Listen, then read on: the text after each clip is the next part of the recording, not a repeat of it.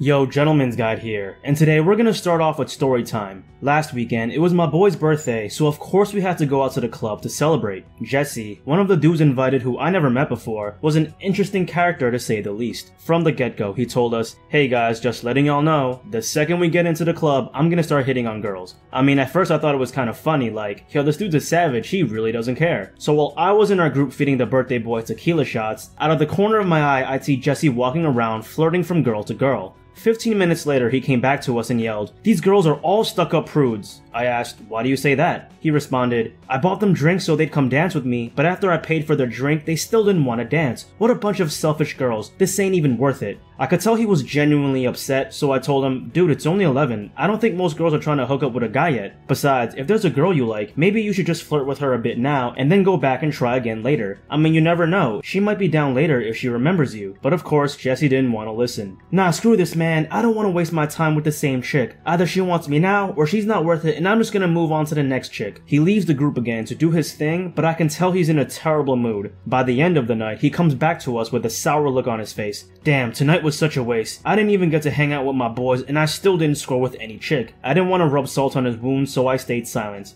Thinking back to that weekend with Jesse, there was something with his attitude about approaching girls at night that obviously worked against him. And I see guys all the time having the same bad attitude whenever they go out, so let's discuss them so you won't be like Jesse. So here's the thing, when you're out at the club, you need to handle your emotions. I noticed every time Jesse approached a girl and things didn't go his way, he took it personally and got really upset. And even worse, he'd bring these bad vibes with him into the next conversation. And this was a pattern that continued with every girl he met. Let me ask you, if a random dude started talking to you and right off the bat you could tell he was annoyed or upset about something, what would your reaction be? You'd probably be weirded out, uncomfortable, and want to get away from him as soon as possible. Well, what do you think these girls feel then? The exact same thing. And it's sad too, because I see a lot of guys acting this way. It's almost like they're a hamster stuck on a wheel of negativity. Like they have all these toxic views about themselves and about women, Oh, all women are prudes, they're sluts, they're superficial, and they just want the rich, handsome guy. Toxic views which obviously taint their interactions with girls. And then when the girl feels that bad energy and gets turned off by it, the guy uses that rejection as a confirmation of all his negative beliefs. Like, oh, another rejection. See, I knew it. All women are just superficial and manipulative and just want me to buy them drinks, turning into an ugly cycle of bitterness and frustration.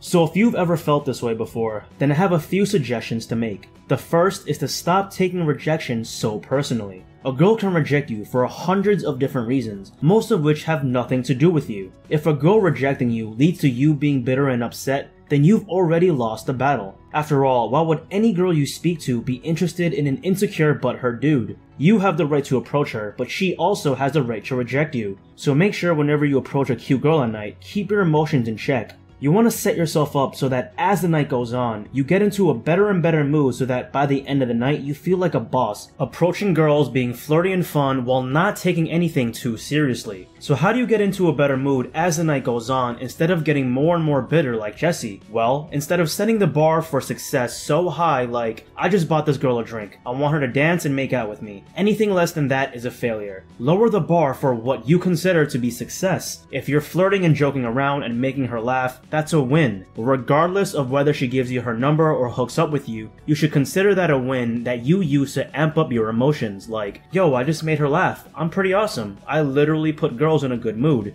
Thinking like that ups your mood so that you talk to the next girl while feeling good. Here's another related tip. When it's earlier on in the night, like before midnight, most girls aren't looking for a guy yet. Instead of trying to get a result like dance with her or hook up, use this early portion of the night as an opportunity to get yourself in a good mood. Talk to girls, but like we mentioned before, instead of trying to get something from her, just focus on having a really fun, almost silly time with her. By warming up your conversational skills like this, again, it'll put you in a better mood so that later on when girls actually are trying to find a guy, you'll be primed to be that fun, exciting guy that girls actually want to do something with. Okay, so so far we've talked about avoiding getting into a bad mood when you go out by not taking rejections personally and instead gradually upping your mood throughout the night by warming up earlier on in the night and lowering the bar for what success is when you flirt with girls. Now I want to talk about something else that Jesse did that worked against him. The fact that he kept jumping from girl to girl throughout the night, never following up with the same girl twice even if the conversation was going well. Don't get me wrong. If you tried the best you could with the girl and she's still giving you a horrible attitude, then yeah, move on to the next girl. But if things are going really well with her, keep talking and try taking things further.